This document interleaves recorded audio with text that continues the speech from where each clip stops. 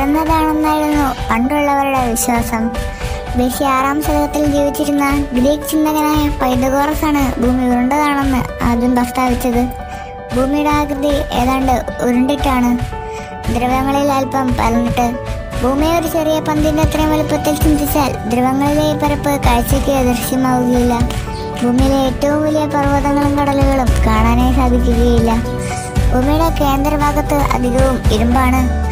അതിനു മുകളിൽ അവസ്ഥയിലുള്ള പാറയാണ്. അതിനെ മാൻഡിൽ എന്ന് വിളിക്കുന്നു. മാൻഡിലെ മുകളിലാണ് ഭൂമിയുടെ പുറംതൊലി.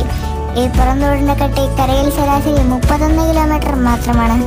സമുദ്രത്തിനടിയിൽ പുറംതൊലിയുടെ കട്ടി ശരാശരി അഞ്ച് കിലോമീറ്റർ ആണ്.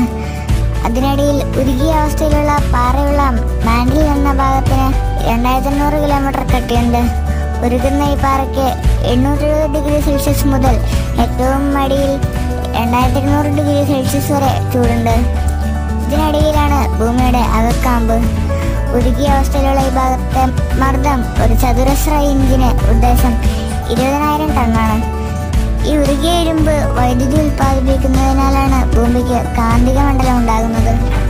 ഭൂമിയുടെ ഉള്ളിൽ ഇപ്പോഴും ഉരുകി തിളച്ചുകൊണ്ടിരിക്കുന്ന വസ്തുക്കളാണെന്ന് പറഞ്ഞുവല്ലോ. ഇവിടെ ഉണ്ടാകുന്ന മർദ്ദവും ബലവും ചിലപ്പോൾ പുറന്തോടിൽ അനുഭവപ്പെടാറുണ്ട്. ഇവ ഭൂമി വിലക്കുമായി നമുക്ക് തോന്നുന്നു. പുറന്തോടുന്ന തുളച്ചുകൊണ്ട് ഉരുകിയ പാറകൾ ഉപരിതലത്ത് വരുന്നതിനെയാണ് അഗ്നിപർവതം പൊടിതിറക്കലായി നാം വിളിക്കുന്നത്. പുറന്തോടിനടിയിൽ ഉരുകിയ അവസ്ഥയിലുള്ള പാറ നടക്കുമ്പോൾ പലതരം പാറകൾ ഉണ്ടാകുന്നു. കോടിക്കണക്കിന് വർഷങ്ങളിലൂടെ ഇങ്ങനെ രൂപപ്പെട്ട പാറകൾ അടുക്കുകളായി കാണപ്പെടുന്നു. ഭൂമിയെയും അതിന്റെ ചരിത്രത്തെയും കുറിച്ച് ഈ പാറകളാണ് നമുക്ക് അറിവ് തരുന്നത്. Hellcat.